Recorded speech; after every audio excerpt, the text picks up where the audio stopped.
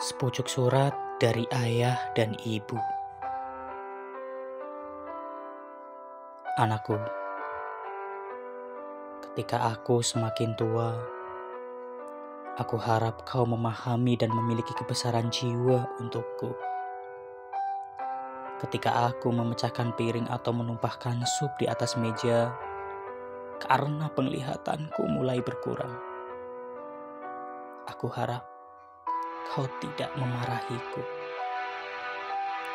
Saat kau berteriak ketika pendengaranku semakin memburuk dan aku tak bisa mendengar apa yang kau katakan. Aku harap kau tidak memanggilku dengan sebutan tuli. Tapi tolong, ulangi lagi apa yang kau katakan atau menuliskannya bagiku. Anakku, aku semakin tua. Ketika lututku mulai lemah, aku harap kau memiliki kesabaran untuk membantuku bangun. Sama seperti bagaimana aku selalu membantumu saat kau masih kecil untuk belajar berjalan. Aku mohon jangan bosan denganku. Ketika aku terus mengulangi apa yang aku katakan seperti kaset rusak. Aku harap kau terus mendengarkanku. Jangan mengecehku atau bosan mendengarkanku.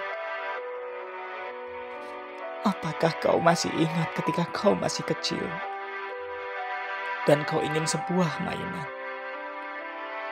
Kau akan mengulangi apa yang kau inginkan berulang-ulang sampai kau mendapatkannya.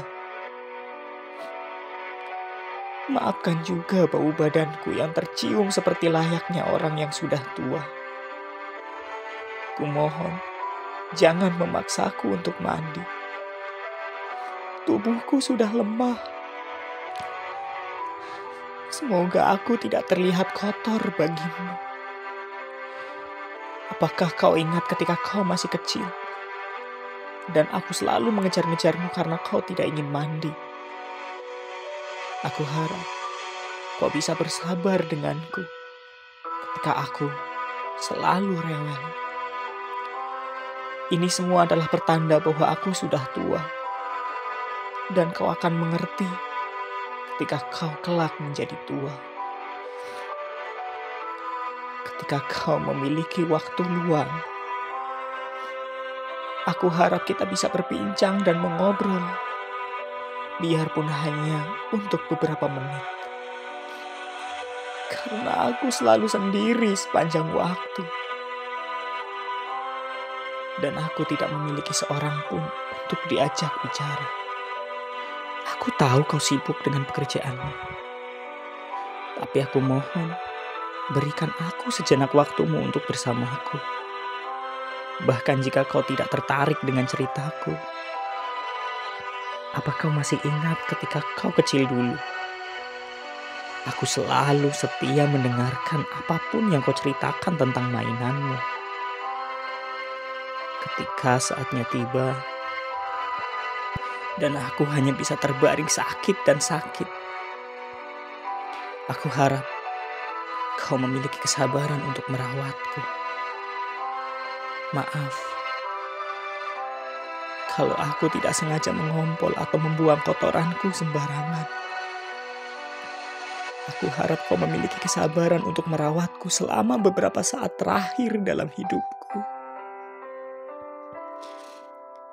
Mungkin aku tidak bertahan lebih lama lagi. Ketika waktu kematianku tiba, Aku harap kau memegang erat tanganku dan memberikanku kekuatan untuk menghadapinya. Dan ketika aku bertemu dengan Sang Pencipta, aku akan membisikkan padanya untuk selalu memberimu berkat yang melimpah dan juga keluargamu. Karena kau mencintaiku, ayah dan ibumu. Terima kasih atas segala perhatianmu anakku. Kami selalu mencintaimu dengan penuh cinta dan kasih yang berlimpah. ayah, dan ibumu.